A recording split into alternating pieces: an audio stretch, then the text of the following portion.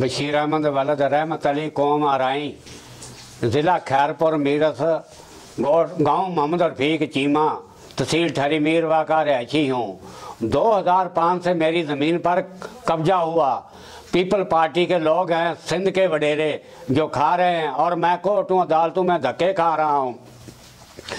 تو میں ادھر اسلام آباد کی بھی کورٹوں میں، سپریم کورٹ وزیر اعظم کا دفتر، نائب ایر وائی پریس کلب کوئی جگہ نہیں چھوڑی، کوئی میں نے دفتر نہیں چھوڑا۔ اور میں دھکے کھا رہا ہوں، اسی سال کا میں بوڑھا آدمی کوٹو میں پیشیاں کھا رہا ہوں۔ نہ کسی وکیل کو، خدا کا خوف، نہ کسی جج کو۔ اور کوئی حکومت نہیں ہے۔ کوئی انصاف نہیں ہے، عدالت نہیں ہے، کوئی کسی کی سنتا نہیں ہے۔ غریبوں کے حق بڑے لوگ کھا رہے ہیں۔ اور میں دھکے کھا رہا ہوں۔ میرے بچے در پدار ہو گئے۔ میں قرضی ہو گیا ہوں۔ اپنی جو جائیداد تھی محسیں گائیں، ڈگے، بیل سب بیچ کے زمین کے اوپر لگا دیے۔ کورٹوں میں پیشیاں کھائیں، وکیلوں کو پیسے کھلائے۔ اور کوئی نہیں سنتا، نہ کوئی انصاف ہی رہا، نہ کوئی قانون ہی رہا۔ تو میں عرض اپیل کرتا ہوں کہ مہربانی کر کے سپریم کورٹ کو، وزیر اعظم کو، کہ میری، میرا حق میرے کو دلوایا جائے۔ اور میں بہت پریشان ہوں۔ ادھر اسلام آباد میں بہت میں نے دھکے کھائے اور کرائے لگائے۔ اور بھیک مانگ کے روٹیاں کھائیں اور کوئی کسی کی سنتا نہیں۔ میں در پدر ہو رہا ہوں، میرے بچے بھیک مانگ کے کھا رہے۔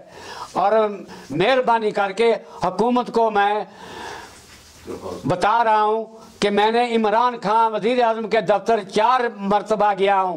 ادھر کھڑے نہیں ہونے دیتے۔ سپریم کورٹ درخواست دی۔ رجسٹرار نے بولا، چاچا، یہ کھوسو صاحب نہیں سنتا۔ اور پھر کون سنے گا؟ نہ سپریم کورٹ سنے، نہ وزیر اعظم سنے، تو یہ حکومت کس لیے کر رہے ہیں؟ غریبوں کے حق بڑے لوگ کھا رہا ہے اور غریب جو ہے وہ دھکے پیچیاں کھا رہا ہے مہربانی کر کے میں عمران خان وزیر اعظم کو اور سپریم کورٹ کو میں اپیل کرتا ہوں کہ میرا حق میرے کو دلوایا جائے اور میں سکون سے اپنے گھر بیٹھ جاؤں۔ اسی سال کا بوڑھا جو ہے، وہ دھکے کھا رہا ہے، کورٹوں میں اور عدالتوں میں۔ دو ہزار سات میں میرے حق میں سول کا فیصلہ ہوا، کیسے ہوا؟ ڈاکٹر کی گواہی پر۔ ڈی این اے ٹیسٹ ہوئی تھی ان لوگوں کی۔ اس نے باپ بدلا ہوا ہے۔ تو پھر سیشن جج کے پاس انہوں نے اپیل کری۔ شیشن چاچے نے دوبارہ پیس ٹرانسفار کیا سیول میں کہ ادھر کے لوگوں کی گواہی بھی آئے گی۔ پھر ادھر کے لوگ جو تھے، وہ سو سو سال کے آدمی، بوڑھے آدمی، انہوں نے جا کے میری طرف سے گواہی دی۔ سب رشتہ نے بھی دی کہ یہ زمین جو ہے، یہ چاچا کی ہے، انہوں نے فراڈ کیا ہوا ہے اور وہ زبردستی کھا رہے ہیں۔ تو پھر گوائیاں گوائیاں آنے کے باوجود بھی پھر بھی میرے کو قبضہ نہیں ملا۔ یہ کاغذ میرے پاس، سب کچھ میرے پاس موجود ہے۔ تو میں، میرے حق کے کاغذ ہیں، میرے سچے کاغذ ہیں، میرے جھوٹے کاغذ نہیں ہیں۔ میرے جھوٹے کاغذ نکلے، میرے کو سزا لگا دو۔ گونجا کنال ہماری زمین ہے، شہر کے بھیک میں، روڈ کے اوپر۔ اور لاکھوں کی بھی نہیں، اربوں کی میری زمین ہے۔ تو جدھر بھی گیا ہوں نیب کے پاس گیا ہوں، نیب نے بول دیا، چاچا، ہم تو پیسے لے کے دیتے ہیں، یہ پیسے نہیں ہیں۔ آرمی چیف کے گیٹ پر گیا ہوں، پنڈی، تین مرتبہ فوجی کہتے چاچا، ججوں کا کام ہے۔ تو ججوں کو کوئی خدا کا خوف ہی نہیں ہے پیشی پر پیشی چل رہی ہے، پیچی پر پیچی۔ حضر چاچا اگلی پیچی پر ڈنڈا دے دیں گے۔ پتہ نہیں وہ ڈنڈا میرے کو آنا ہے کہ ان کو آنا ہے۔ تو مہربانی کر کے یہ میرے کاغذ، سچے کاغذ، ان میں سے کوئی بھی گلتی نکلے، کوئی اس میں فراڈ نکلے تو آپ میرے کو پھیر مار دینا۔ مہربانی کر کے میں اپیل کرتا ہوں دوبارہ۔ تیسری بار میں اپیل کرتا ہوں کہ میرا حق میرے کو دلوایا جائے۔ سپریم کورٹ کو اور وزیر اعظم کو۔ وزیر اعظم عمران کھا کے میں بنی گالا گھر تک پہنچا ہوں۔ ادھر میں اس کا خاص دوست ڈھونڈا، حاجی رضوان۔ اس کو میں نے بولا بھئی جہاں میرے کاغذ پیش کرو، نہیں تو میرے کو ملاؤ۔ تو حاجی رضوان صاحب نے کیا بولا؟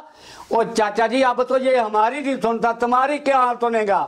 تو یہ حق انصاف کس لیے آیا تھا؟ نیا پاکستان بنا دوں گا میں، یہ کر دوں گا میں، وہ کر دوں گا۔ ابھی یہ کسی کی بات نہیں سن رہا، نہ کسی سے مل رہا، نہ کسی کی درخواست منظور کر رہا۔